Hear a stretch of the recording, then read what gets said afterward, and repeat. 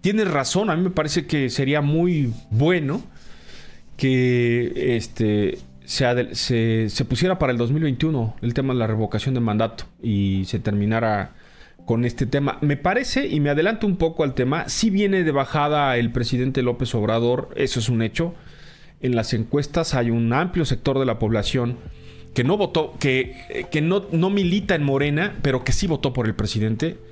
Y le está pasando al presidente lo que le ha pasado prácticamente a todos los presidentes en otro tiempo. Se ha desgastado, el gobierno desgasta. Sin embargo, creo eh, objetivamente que la base social del presidente López Obrador sigue siendo muy fuerte, sobre todo en el interior del país, por un lado.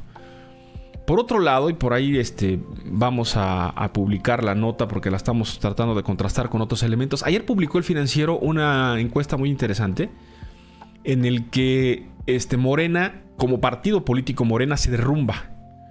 Y está casi ya, este, todavía está 10 puntos arriba que el PAN, que es su más inmediato seguidor, y el PRI, el PRD, todos los demás están en la lona. ¿Qué quiere decir eso? Lo que quiere decir es que como opción política, como opción política, este, la gente ya ubicó, por ejemplo, que la bronca que se aventaron en Morena, este, este, este desorden que traen ahí adentro, se los van a castigar. Eso está claro. ¿Por qué los partidos de oposición no quieren en el 21 que sea la revocación de mandato? Porque el presidente López Obrador va a estar en campaña.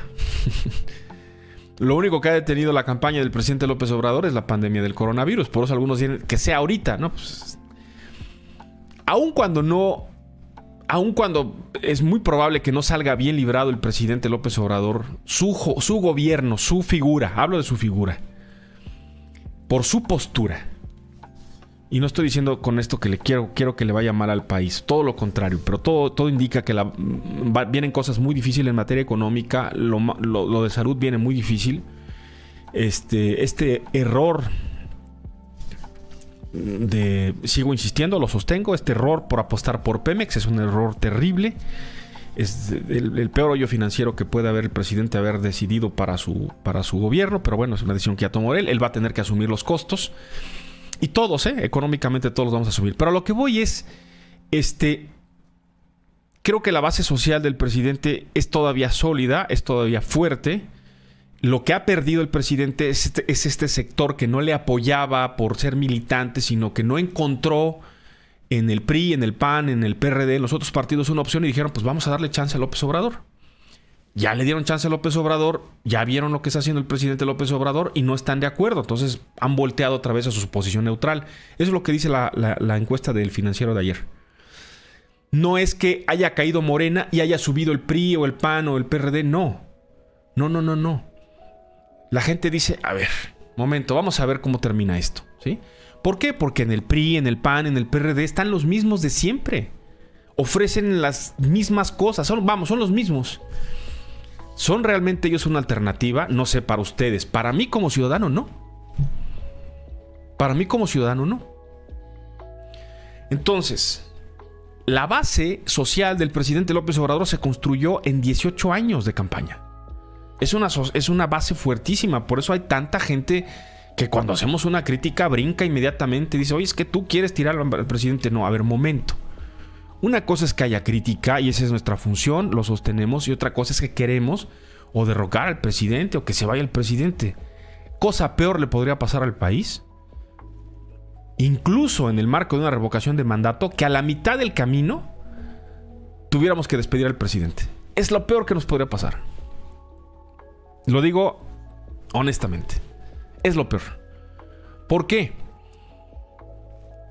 Porque un montón de proyectos a los que ya se les metió lana, cuestionados o no, viables o no, ¿qué va a pasar? Se van a quedar otra vez a la mitad y vamos a tener más elefantes blancos. ¿Cuántos descocos vamos a tener regados por el país? ¿No? En fin. Simplemente aclararlo, ¿no? Este. Y conste que yo no tengo ni militancia política ni, preferencia por ningún partido político. Este, estrictamente no le creo a ninguno, pues, a ninguno, ¿no? Pero bueno, finalmente en algún momento hay que elegir. Ojalá los partidos estén trabajando para presentarnos propuestas atractivas este, ahora que haya que elegir en el 21. Y yo particularmente sería de los que votaría porque el presidente sea sometido a revocación de mandato en el 21, en la elección. Vámonos, todo en bloque, vámonos, decidamos de una vez este asunto. Ahí están los elementos y para el 21 ya habrá elementos suficientes. Miren, para el 21 ya sabremos si la estrategia para la atención de la pandemia desde el punto de vista de salud fue buena o mala. ¿Quién va a ser ahí el principal responsable? ¿López Gatel? No. Jorge Alcocer, menos. Marcelo Ebrard, no. ¿Quién va a ser presidente López Obrador? Porque él ha puesto la cara sobre, el, sobre este tema. Él ha definido, aunque dice que respeta la decisión de los, de los especialistas, el que ha definido la estrategia es él. Es el que ha dicho, no quiero toque de queda. No quiero cerrar la economía definitivamente. No quiero que esto se alargue. Bueno, si esto no termina bien, el pagano va a ser el presidente. Si en materia económica no genera los 2 millones de empleos y no genera la reactivación para finales de este año, al presidente le va a ir muy mal. Y no lo deseo porque vamos a terminarlo pagando todos también. No pinta bien el año en materia económica. Pinta de hecho muy mal. Ojalá nos equivoquemos. Bueno, inmediatamente lo que viene es un proceso de elección. ¿No? ¿Qué se va a poner a prueba ahí? Pues realmente en dónde están las bases, ¿no? ¿Quién va a resultar más afectada con este escenario de crisis económica? La gente que más tiene dinero, no. Va a resultar más afectada la gente pobre, a la que el presidente le habla. ¿Y saben qué? Hay una cosa, cuando hay hambre y cuando aumenta la inseguridad y cuando la gente no tiene que comer y cuando la gente comienza a entrar en desesperación, se olvidan muchas cosas, ¿eh? Le ha pasado históricamente a los líderes más sólidos en la historia del mundo. Échenle un ojo a lo que pasó en Brasil. En Brasil, Ignacio Lula da Silva, Luis Ignacio Lula da Silva era un dios. No era un presidente, era un dios. Con su movimiento social. Terminó en la cárcel, acusado de corrupción. Y sí, tiene su sector que lo apoya todavía. Pero es muy probable que termine en la cárcel su vida. La gente no le perdonó eso.